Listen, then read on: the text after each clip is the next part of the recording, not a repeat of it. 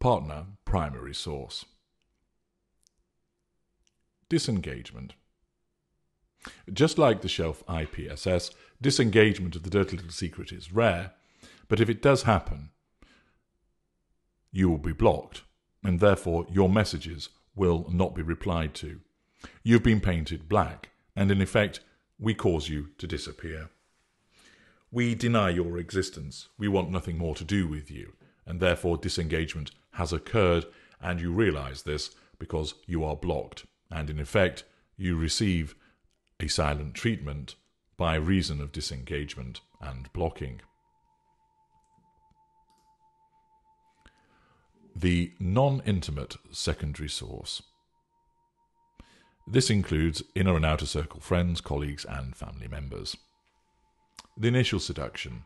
There is no initial seduction of family members, naturally, but with regard to friends and colleagues, this happens quickly as it doesn't take too much effort to bind this person to us as friend or colleague. And the reality is that there is unlikely to ever be an occasion or indeed time for failure to respond to the text messages occurring. The reason for this is that the flow of text messages between a non intimate secondary source and the narcissist is not as great.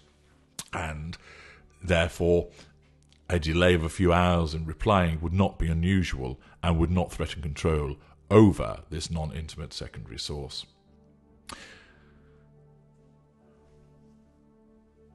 When the non intimate secondary source has in effect been seduced and embedded as that non intimate secondary source, they continue to enjoy a near permanent golden period because their prime aim, the prime aims that they provide are only utilised intermittently. Fuel remains fresh. The non intimate secondary source is also often very loyal and therefore receives, in effect, bribing benefits and rewards from our kind. So, this seduction golden period lasts for a long time. If in this period there is a failure to reply to a text message, it is because we are genuinely busy about something else. The non intimate secondary source, whilst important to us, is expendable, and therefore the messages of a non intimate secondary source are not treated as an absolute priority. The fuel, whilst obtained, is good, is not the highest potency, and generally in tandem with our concept of superiority and control, consider that the non intimate secondary source, once bound to us, is not going to become disloyal because we've been slow to respond to text messages. Our sense of entitlement reaffirms this, and we do not perceive that a non intimate secondary source will challenge our control if we don't respond for a number of hours. We form the view that the non intimate secondary source will conclude that we are just busy, and therefore they will patiently wait for a reply. We've no need to rush, and of course, no need to devalue them during this stage of the dynamic. Accordingly, if you are a non intimate secondary source and your messages are not being responded to for a number of hours, it is because we are busy doing something else and you are not a priority. Devaluation. Similar to the IPSS and the Dirty Little Secret, non intimate secondary sources also receive corrective devaluations. And either the narcissist will assert control directly through a hoovering message, or there will be a protracted failure to reply to your text messages. Therefore, if you don't hear from the narcissist for, say, more than half a day, then it is likely that you have received a corrective devaluation. Eventually, we do respond, and it will either be having set the reset button and we will carry on as if we hadn't responded. Uh, we will carry on as if we had not ignored you and we don't notice that that has happened. Or we may respond in a method of giving you a scathing put down with no words of comfort, no excuses offered, but an unpleasant de- reply designed to draw fuel from you, dealing with your earlier threat to our control. Disengagement. The disengagement of a non intimate secondary source is also rare, but if it does happen, then you are struck from the record, you're made persona non grata, and you'll be blocked. We freeze you out, and no doubt have already replaced you with somebody else from the stable. Your messages seeking explanations and reconciliation will be unheeded, and indeed, in many instances, not even read such is your inferior status from our perception. I'm H.G. Tudor.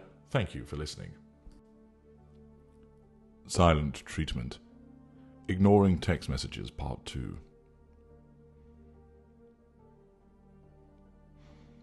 This video concerns where the narcissist ignores text messages from secondary sources. The intimate partner secondary source. This is the individual who is treated to the shelf dynamic.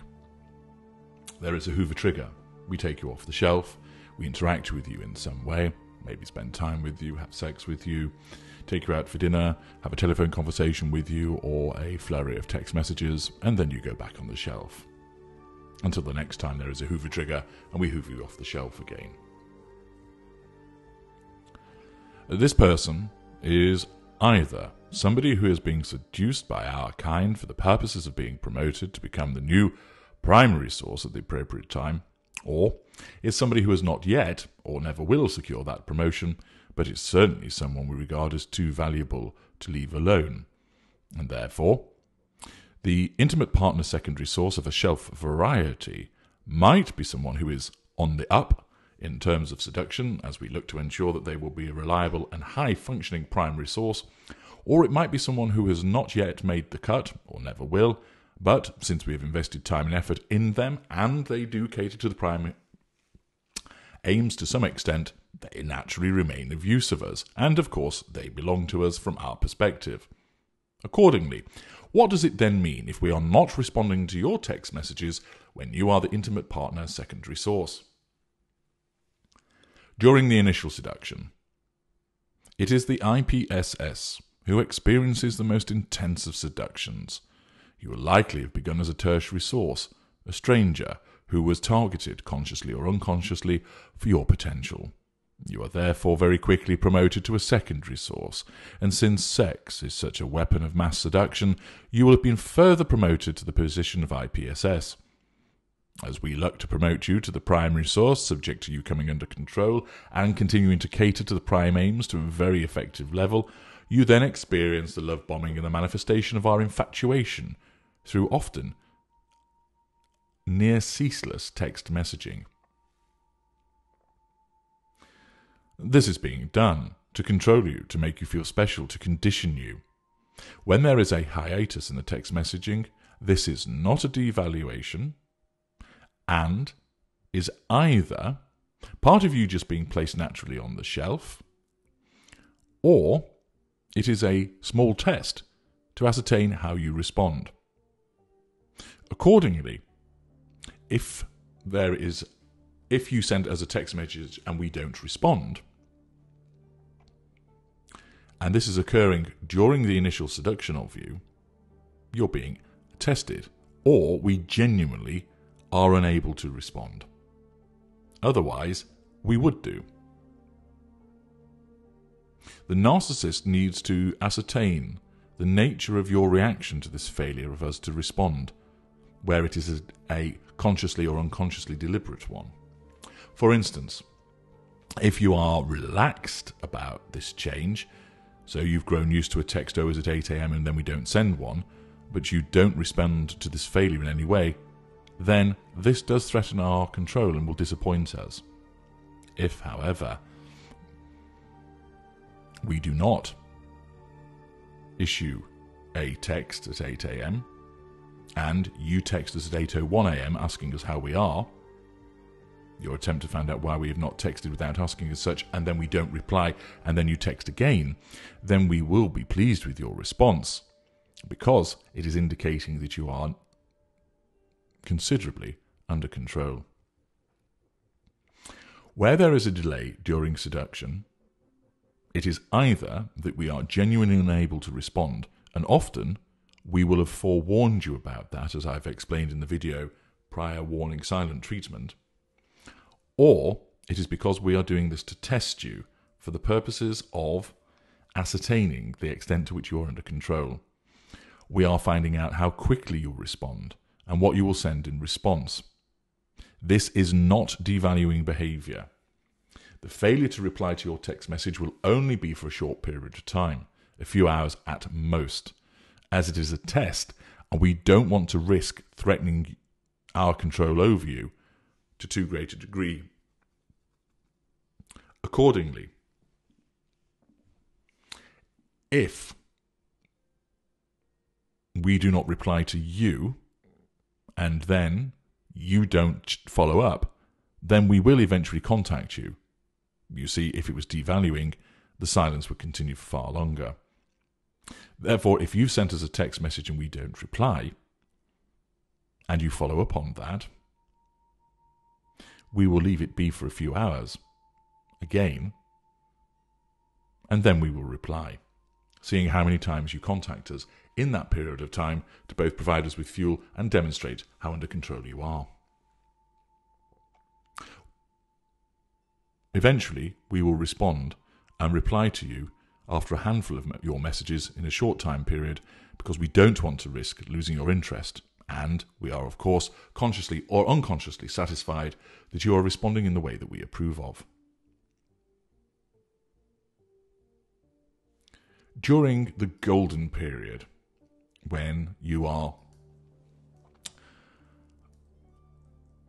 more embedded as a secondary source. We have drawn you in, and the shelf dynamic is progressing in its usual way. If the targeting and initial seduction proves successful, and you've been promoted from IPSS to the primary source, then you need to listen to silent treatment, ignoring text messages part 1, as that deals with the situation where we ignore text messages from the intimate partner primary source. If, however, you have not been promoted to primary source, but there has been no disengagement, then we have opted to keep you connected to us as a shelf intimate partner secondary source.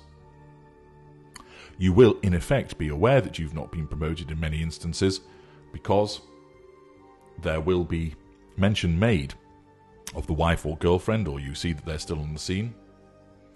Or, if we didn't mention one, then you don't see as often as you once did during that initial, seduction that was occurring. It's often the case that people think that you're now being devalued.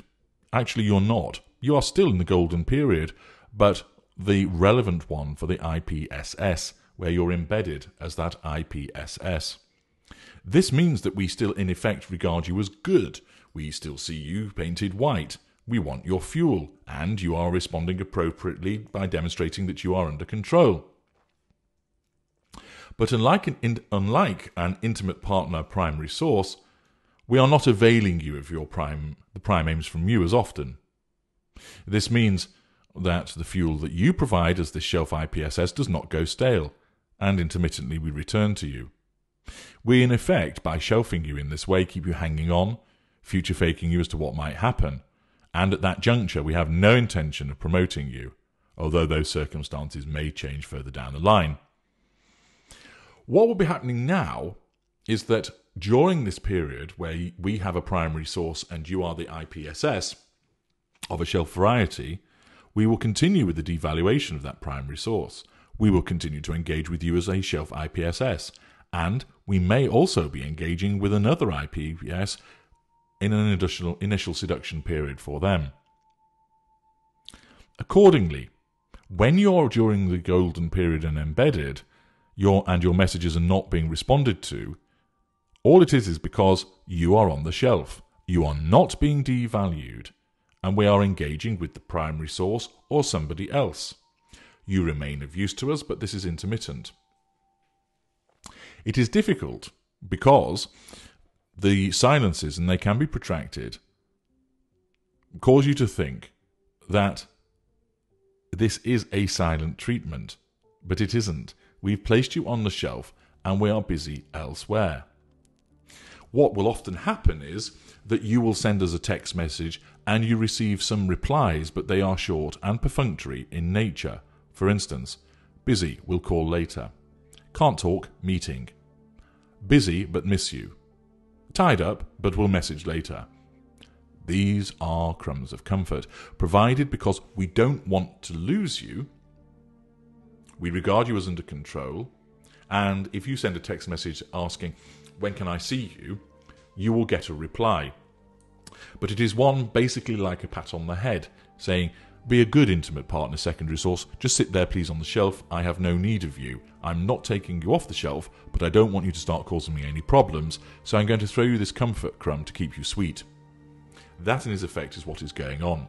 And the lesser and the mid range narcissist does that instinctively and unconsciously. The greater and the ultra know that that's what we're doing, that we're giving you a little tidbit to keep you sweet, to keep you on side. But we are not going to take you off the shelf. When we issue a comfort crumb to you in that manner, you are not being taken off the shelf. You are staying on the shelf, but being told, look, I don't have a problem with you, but I don't want to play with you right now. Be a good IPSS and just sit there until I'm ready to hoover you off the shelf. So, accordingly, when you are in this position of being on the shelf and you are in effect still in the embedded golden period with the narcissist, you will get a reply from us. There might be a slight delay because we're busy about something else, and you'll gain a comfort crumb. Understand this is not devaluation. You're just being told, sit there, wait, I'll deal with you when I choose. Devaluation. Devaluation of an IPSS is comparatively rare. What we issue against you are corrective devaluations, not a sustained devaluation as is given to the intimate partner primary source. We've invested time in you, and invariably you tend to function pretty well, because whenever we do take you off the shelf, you're delighted to gain some time with us at last, your fuel is never stale and thus remains fresh, and therefore there is no need to devalue. There will be instances, however, that a corrective devaluation needs to be issued against you, which is akin to a slap across the wrist. And this is where essentially you are threatening our control. And we determine that a benign response is not appropriate and rather a malign one is. So, for instance, you might send us a text message saying, When can I next see you? I really miss you. And we throw a comfort crumb, which is a benign response. It might not feel like it to you, but from our perspective, it is. If you accept that and stay quiet, there's no problem, you remain on the shelf. But what if you respond by saying, Well, hurry up, I really want need to talk to you. Or, I'm sick of waiting around, this isn't fair. You are now threatening the narcissist's control, and the comfort crumb has evidently not worked. And therefore, in such circumstances, because you are challenging our control, we have to do something about it. Now, in some instances, you will receive a text response from the narcissist whereby the narcissist is selected, either consciously or unconsciously, to assert control over you by in effect, hoovering you.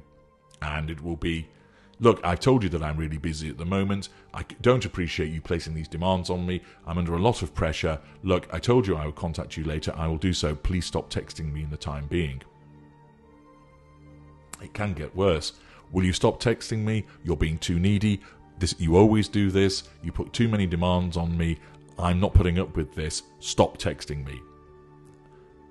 And it can go into the realms of being abusive. That is a corrective devaluation. However, it is often the case that the narcissist, where you are threatening the narcissist's control, where you are an intimate partner secondary source, opts, either consciously or unconsciously, to assert control through the third assertion of control and thus ignoring you. You send a message, the narcissist sees the messages, message but does not reply. You send another and not reply. When that occurs, you're being devalued, where you're sending repeated messages, but you're not getting any response. Or you send repeated messages, you can see that we're reading them, but they're not responding. You're getting corrective devaluations, and the narcissist is asserting control over you by applying the third assertion of control. So, where you're the IPSS and you're on the shelf, if you send us a text message and we reply, and there's a back and forth, then naturally we're not ignoring your messages. Sometimes you'll get the comfort crumb, which is a benign response which basically says, sit quietly on the shelf, I'll deal with you when I'm ready. And if you obey that, there isn't a problem. If, however, you keep texting the narcissist to get a response, to organize to see one another, to try and basically to come off the shelf, then you're threatening our control. And either the narcissist will respond by the first assertion of control with the direct hoover, which will invariably be malign and increasing in nastiness the more that you do it, and then eventually you will be ignored, or you'll be ignored from the beginning. In the instance where you keep sending the text messages to the narcissist, demanding that we spend time with you, and the narcissist responds by saying, I'm busy at the moment, I've told you I can't see you at the moment, the wife's suspicious, etc. If you keep coming back, you keep threatening the narcissist's control, and therefore this first assertion of control isn't working. Therefore, the narcissist is forced to switch to a different one, and you will in effect force the narcissist to then ignore you, and then you get no further replies to your text messages. In other instances, the narcissist goes straight to the third assertion of control and just doesn't reply to you. In either instance, those are corrective devaluations. You're threatening the narcissist's control, the narcissist is asserting control over you by ignoring you, it is a malign response, and you are being given a silent treatment. What about disengagement? It's extremely rare to actually be disengaged from as an IPSS. You're immediately painted black, and it's as if you don't exist. We do not regard you as even worth bothering with, and our disengagement of you, of course, is an assertion of control. If you keep sending text messages, they will not be responded to, and it is highly likely that you have been blocked because that confirms that you have been disengaged from. The Dirty Secret Intimate Partner Secondary Source. The dirty little secret is the person who is kept hidden away, but is dipped into for excellent fuel with considerable regularity. Do listen to the video, The Dirty Little Secret. The additional seduction period. This will be intense in a similar way to that described above as concerning the IPSS. There is unlikely to be any delay in replying to text messages, however, with the DLS because there's no need to test you. Your role has been allocated as a dirty little secret, and at that juncture, you'll never become the primary source. Of course, that might change later on, whilst you've been embedded. At this early stage, your function is to be available at a set time or times each week for those secret trysts when the clandestine nature of the connection increases the amount of fuel that is provided, since you're likely to be the other woman or the other man. We will then move to embedding you, and therefore when you are in this initial seduction period with the narcissist as a dirty little secret, we will respond to your messages because we do not want to A, risk losing you, and B, you trying to contact other people that you might happen to know mutually, thus risk exposing that you are our dirty little secret. Accordingly, there will be no failure to reply. If there is a failure to reply, this is purely because we are not actually able to reply and it is genuine. We are swimming and away from our phone, for example. What about the seduction golden period with the dirty little secret? Well, where you have now been drawn in and you are in, in that embedded position, then you are slotted into a long standing golden period, like the intimate partner's secondary source of a shelf variety, because you're used intermittently. Whilst you're kept secret, you will be seen more often than a shelf IPSS. That IPSS has failed to become the primary source, but is kept and strung along for potential promotion at a later juncture and, of course, intermittent usage. At this stage, you are never going to be the primary source, and you are seen more often because of the nature of your fuel is this two hour fuel injection before we disappear back to the primary source. Invariably, when you're the dirty little secret, you'll be aware that the narcissist has a primary source. And therefore, you'll have been warned that you can't text me, you have to wait to hear from me first. And you will comply with that. This means that you are thus less likely to badger us with text messages. We will get in contact with you first to hoover you. If you do message us during your golden period as the dirty little secret, there is no intentional, either consciously or unconsciously, failure to respond to the messages, and often the reply will explain why we can't speak, or we will message at length, but the content of the messages will be complementary, encouraging, and utilize future faking, whilst, of course, triangulating you by smearing the primary source. This, in effect, amounts to improved comfort crumbs. Indeed, there'll often be an explanation given to you, and then explain where we're next available, whereas the Shelf IPSS is not afforded this. You will hear things such as, can't message for long, got to take the witch to her friends, so message you around 8 o'clock, can't wait to kiss you again. Or, difficult to text, she's still here. Will message again as soon as I can, really missing you and want to show you just how much as soon as possible. Or, hi sex machine, stuck at present, will message after 6pm, kiss, kiss, kiss, kiss, kiss, kiss, kiss. Thus, if you find that your answers are always answered, even if it's only the messages that I've just described, and your expectations are being managed, and you know that there's a primary source involved, then you're the dirty little secret and you are embedded in your golden period, and the narcissist is unlikely to ignore your text messages. Devaluation. It is unusual for a dirty little secret to be devalued because the dirty little secret tends to be highly compliant, accepting of their role, and the delicious turbo boost of fuel provided is most welcome. It's highly unlikely that we become bored of the dirty little secret's fuel, and devaluation only ever really occurs where the dirty little secret doesn't respond to our overtures, or, so for example, we want to meet and you say that you can't, or that you start asking for more.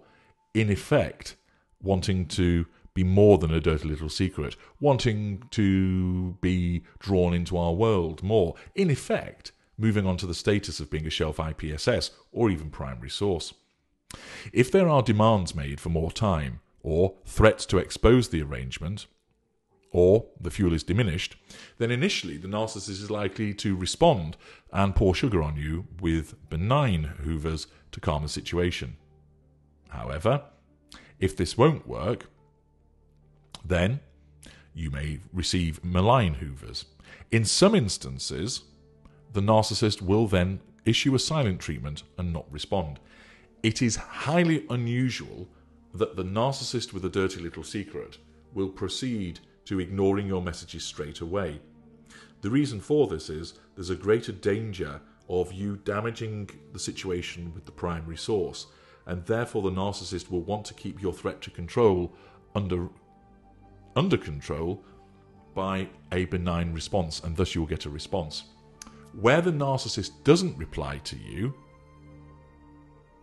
where you are making demands, where you are wanting more time with the narcissist, then that is devaluing, and the narcissist is asserting control over you through the third assertion of control. It is unusual for that to happen, but when it does, the reason that the narcissist is not responding to you is he is controlling you, and it's most likely that he's engaged with somebody else, usually the primary source. It's highly likely that the primary source is being given a respite period, and therefore, rather than risk being seen tinkering on the phone, the narcissist just hides the phone in a pocket, in a drawer, and your text messages are being ignored because the narcissist isn't even seeing them because they don't want anything to do with you at this juncture. You have to stay in the compartment of being a dirty little secret whilst the narcissist enjoys the respite period with the intimate partner